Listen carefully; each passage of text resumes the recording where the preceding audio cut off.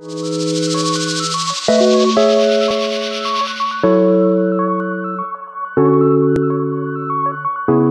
my name's Simon Webster. Um, I am the lead physiotherapist here at Cousin Lane uh, for Nuffield Health.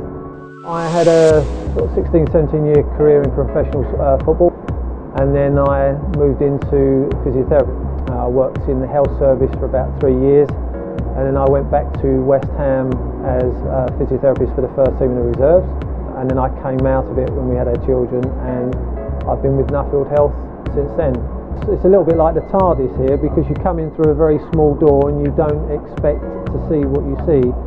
You know, we've got, uh, I think there's five studios, you know, we have uh, got room for big classes, we have all the gym equipment, we have a swimming pool, we have three squash courts, we have, you know, physiotherapy in there, we have um, personal trainers, and we all try and sort of integrate our services together to try and help all of our clients, really.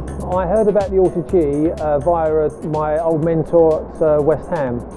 Uh, he had taken one into his clinic, was having very good results with it, invited me over to have a little look at it. Um, I was very impressed with the, the piece of kit um, and I sort of followed the sort of the progress of it since then. The use of the machine, I think, is could, could benefit lots of areas. I know, you know, sporting environments, they're always looking at ways that they can um, encourage earlier weight bearing, get their players back a little bit quicker. There's, there's not been too many ways of encouraging weight bearing at a progressive level other than using, you know, a pair of crutches or things like that. I think this is a great way of, of doing that. What we've found is that you can get people up and weight bearing probably a little bit earlier than you would normally do typical people that we've found helpful is sort of post-operative knee knee patients.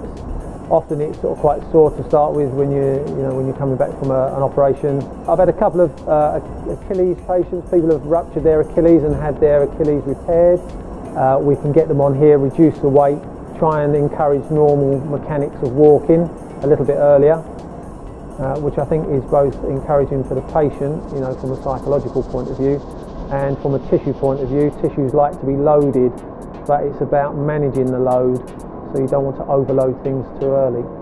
You know, in terms of obesity, you know, we have a, a big problem with obesity at the moment and trying to encourage people into exercise. This is a way of just, say, unweighting them a little bit, allowing them to do the exercise and having less stress on their joints because that's often a barrier to, to getting people to do, you know, really good weight bearing exercise. I did, so I ran the marathon, but unfortunately we didn't have this machine. if we did, it would have been, you know, greatly beneficial for the injuries. Um, I had lower back, ankle and knee injuries throughout, training, so it definitely would have been a massive help for me. And I know some of the marathon runners this year used it, um, and they're members of the club as well. So. Yeah, I think most of the members are really intrigued by it first of all, um, and then once they've had a go on it and understand how to actually use it, um, they do ask to come and have a go on it themselves. Generally it's for people that do have injuries or train four to six times a week. They use it for rehab as well, so it's very popular. All of our personal trainers bring their clients on it. They use it as part of their um, workouts at least once a week. And we've obviously got a large physio team as well that use it with their patients, so it's been well received at the club as a whole. It's good for me to analyse from the back so I can look at mechanics I think in terms of normal mechanics, you can sort of up to about 60% body weight, and then we start to sort of change change body mechanics and how you run. So you stop stop striking midfoot. I mean, as a physiotherapist, you're always looking at objective markers to see the benefit of what you're you know what you're implementing.